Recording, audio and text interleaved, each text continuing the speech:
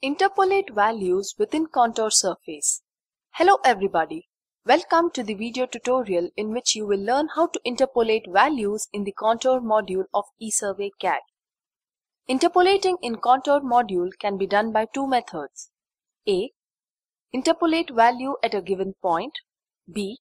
Interpolate value along an alignment.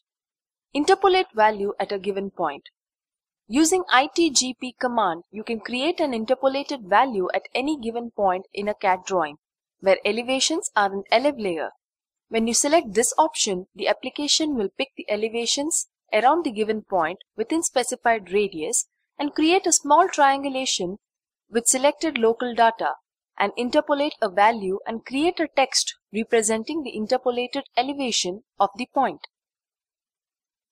Interpolate value along an alignment.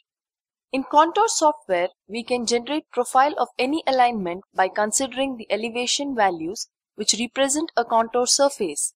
While generating the profile, software will interpolate the values along the alignment with the specified interval. Thank you for watching this video. If you wish to interpolate values in more advanced method, please use Interpolate module of eSurvey CADD. In the next video, you will learn how to quickly regenerate the contour map with the different contour generation setting.